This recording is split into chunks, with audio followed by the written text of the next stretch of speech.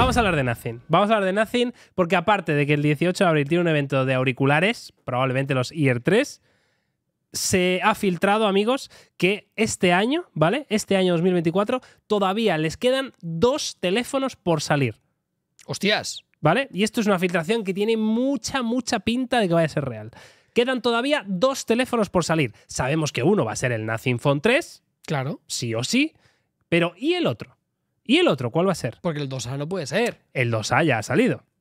Entonces, después del 2A van a salir dos teléfonos más. Entonces aquí este año. tenemos 2024. el 3 seguro. el 3 100%. Entonces solo hay dos posibilidades. Sí, Sacas uno muy barato sí. o sacas uno muy caro. Hay una tercera posibilidad. Es que yo ya sé cuál va a ser. Así porque... Entonces, bueno, porque pues, soy muy listo. Bueno, Eh, no, no. Sí, porque por eso dirijo este podcast. Pero sí, eh, estoy creando hype. ¿Innecesario? Probablemente. No lo sabes. Pero a mí me gusta, sí, claro que lo sé. Pero que me gusta crear Vale. un poco de hype, a veces innecesario, sí. Entonces, primero, antes de contarte ese otro teléfono, vamos a hablar de Phone 3. Vale. ¿Vale? Eh, no se ha filtrado casi nada. Sí que el es procesador cierto. un poquito. El procesador, ¿qué se filtró? El Ah, lo 8S del Gen 3. 8S Gen 3, es verdad. Snapdragon 8S Gen 3. Es un procesador bastante pepino sin ser el pepino del todo, ¿no? Es decir, entre un 8S Gen 3 y el 8 Plus Gen 1 que tenía el Nothing Phone 2, Ujú. ¿qué, qué preferirías? Eh, el nuevo. Yo lo el nuevo también. El Yo lo nuevo también. Sí, Yo lo sé, también. porque seguramente a nivel de potencia estará más próximo a un Gen 2 que a un Gen 1, quiero pensar. ¿eh? Basado en absolutamente nada, no lo podemos saber.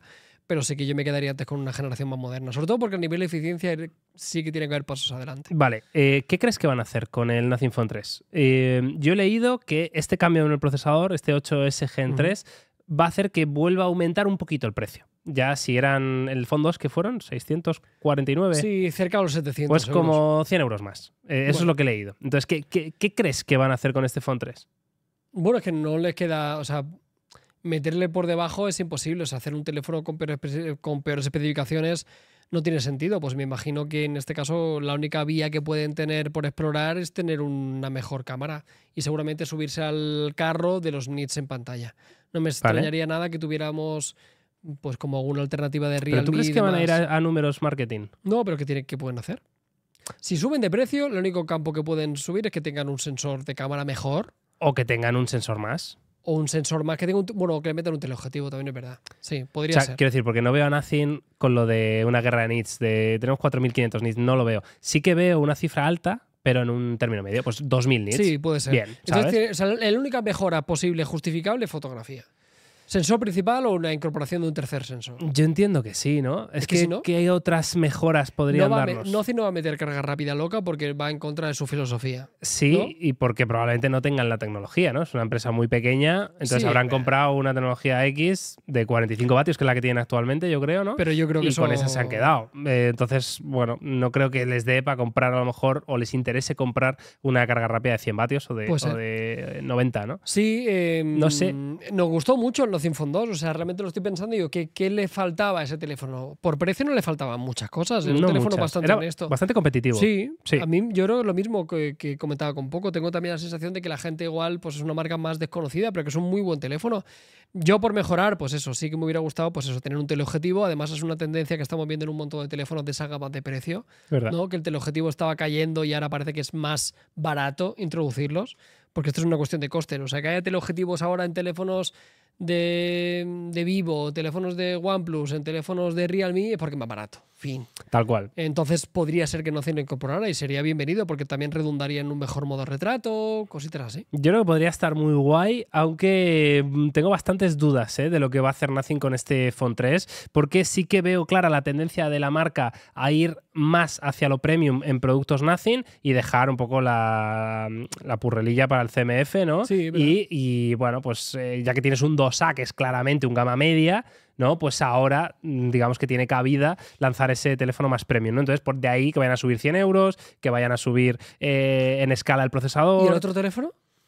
¿Y el otro teléfono? Claro. ¿Cuál es el otro teléfono? No te escapes, Miguel, Nah, dímelo. Es muy sencillo. El otro teléfono es, es muy fácil, es bastante decepcionante, la verdad. Pero me parece curioso y quiero que lo comentemos. Eh, hace un par de semanas o tres, la gente de Nothing subió un vídeo a su canal de YouTube Vale. anunciando que eh, piden a su comunidad que hagan y diseñen un 2A a su como les dé la gana. Y que van a elegir uno de Vale. los diseños de la comunidad y lo van a lanzar a la venta. A nivel eh, diseño físico. Exacto. Me parece que hablaban de colores, parte trasera y. O sea, va a ser como una edición Especial. especial de la comunidad del Nothing mismo 2. hardware del 12 De hecho, no te extrañe que. No, no, no habría dado tiempo, claro. No. De esto llegará este año, pero no sé cuándo. Te iba a decir, igual llega el 18 de abril, pero no. Eh, entonces, esto, bajona, bajona. Pero eh, te iba a preguntar esto. ¿Cómo ves un movimiento de que una marca le diga a su comunidad, diseñame el teléfono? Eh, guay a priori, pero luego un poco ¿para qué? No, o sea, con perdón. No, o sea, Mm, está, bien, está bien. No sé, como movimiento empresarial me refiero.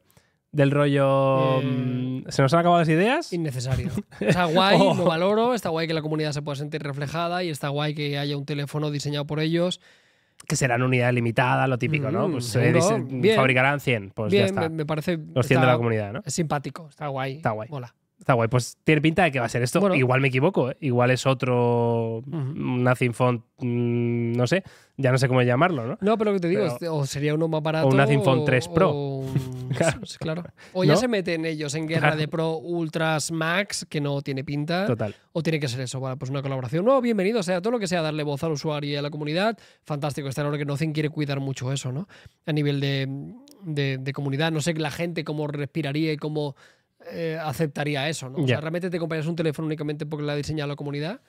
Que igual sí, Si tienes está un guapísimo, único- ¿por qué no? No, Claro. no, por supuesto, y tienes un teléfono único, una edición especial. es Porque algo- del, del 2A, Carlos, ¿qué colores había? Había blanco, como blanco roto y negro. O sea, había tres colores. Blanco, blanco roto y negro, eso es. Vale, pues claro. Y te puedes hacer un Nothing Phone 2A rojo, yo qué sé. Eh, igual te flipa, ¿no? Y dices, Sí, para adelante, ¿no? sí. Ya que me iba a comprar el 2A, eh, pues me espero y me lo Pero compro. será solo color o diseño, porque lo diseño no creo que sea tan fácil. a Ellos nivel hablaban que de, fabriquen, ¿eh? diseño y yo creo que te puedes, puedes entrar en la página de, de comunidad de Nothing y te salen como las bases. Y me, me juraría haberlas leído de, de pasada y era algo así como color, eh, botones, ¿no? Era Bueno. algo de ese palo, ¿sabes? Como muy, muy superficial, vaya. Bueno, claro, es que piensa que si fuera un rediseño total, también le costaría un pico hacerlo. 100%, ¿no? claro, claro. Otra cosa es que dijeras, pues vais a poder tocar estas cositas que son un poquito más fáciles de hacer. Bueno, sea como sea, bienvenido que el usuario tenga la capacidad de decidir y que pueda in- meterse de lleno y que se pueda sentir partícipe de algo como, como es hacer un teléfono que está bueno. Tal.